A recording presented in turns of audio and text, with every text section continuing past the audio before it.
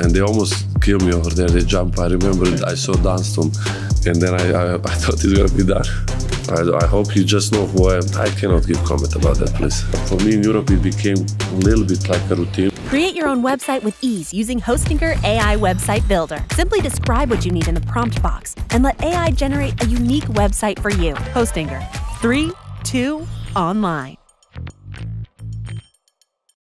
Welcome to Basket News film session. I'm here with Vasilije Micic, and we're gonna watch some of your career videos, react to them, and you can break it down for the viewers. I think the most iconic shot in the in your EuroLeague career. This is in the Final Four in 2022 Belgrade. And what what was going on in your mind, or is this pure instinct? What's happening? Yeah, I mean this one was. Uh, pure instinct. I never took this shot uh, in my life. This step side left. Normally I took between the legs, step back, but Sasha was a little bit short. Actually, he caught me, but I just hold for a second and yeah. I thought it's short, honestly. And then once I saw swish, it looks perfect. And honestly, everything was set up well, but I didn't expect to make it, honestly.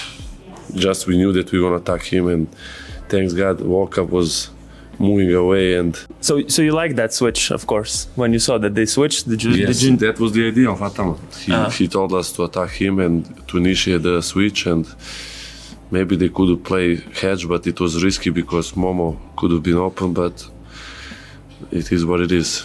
Yeah and what Happy would, shot. what would you rate uh, Vezenkov's defense here? Because it looks like he's right there. Great great. It was even a little bit hold you see. Yeah I hold it for a second. I have no idea, honestly. I would never repeat this shot, probably, but I just knew I'm gonna shoot. I just knew that. I, I knew I'm not gonna go to. I wasn't gonna go to lap. That's yeah. for sure. And what about the celebration, falling down on your back? Normally, maybe you guys know, but I'm not so famous about some exp- expressions. Yeah. Uh, my game is kind of boring for watchers, but this one I had to celebrate because I lost my legs for a second. So I fall down, and they almost kill me over there. They jump. I remember I saw Dunston, and then I, I, I thought it's gonna be done. So you got the ball against KD. Is he that light, or are you that strong? What happened here? I don't. Uh, people. Are, I mean, it looked like it was a push, but it's not. It was not push off. Uh-huh. Honestly, just I think he wanted to take the charge, and uh, I don't know. He he expected me to push him and make offensive, but he was so lazy that game, and I don't think he took us so serious because he's KD. He's the best player, one of the best ever. Just again, a lot of luck. I don't think I was so so into whatever it is, okay. falling him down or whatever. I just was lucky because I had to react. Otherwise, it was offensive foul. But you think it was a flop, essentially, from him? I don't know. I don't know. I really don't know how everything happened. After people mm. posted so much, and I normally I don't even watch games, but uh, that move was mm. because of KD, not because of me. Very famous. And and then KD said this this quote that you're crafty. He knows how to play the position, smart, taking advantage of his opportunities. I'm happy for him. How did that make you feel? I, I hope you just know who I am. Maybe just ask him because I did the move, but uh. if he really thinks that, thanks, thanks him, thanks to him. Did you feel like it took some time for you to earn respect from from the NBA guys, even coming as, as a EuroLeague MVP, former EuroLeague MVP? Did, did you feel like you have like a target on your back? I think they didn't know who I am, honestly. Okay. Most of the guys, but a little by little, with some experience, even in in OKC, my statistic was not maybe the the, the close, closest closest to, to what I wanted or maybe people expect, but my contribution was for that team who is such a talented something that I could have done the best. I couldn't I could I could not done anything better because those kids are so so talented and, and they already set up their their team according to the talent but also in Charlotte I gained more minutes and maybe a little by little earn as you said respect but before that, I don't think they knew who I am. How, how did that happen that you have in this picture Giannis Antetokounmpo, yourself, and, and uh, Sarp Ataman? We, we met me and Giannis accidentally in that restaurant, and uh, Sarp was also with his mother, I think, or friends around, and he just uh, took picture. Of course, I know Sarp so much, so well from Efes, and nice picture. You heard what he was saying about uh, becoming a coach, maybe better than his dad. I cannot give comment about that, please. okay. And just talking about Panathinaikos uh, and and their success this year, do you see similarities between what happened in Ataman's Efes, where you were Yeah. for, for those years, and and this Panathinaikos? What are the similarities and maybe differences you see?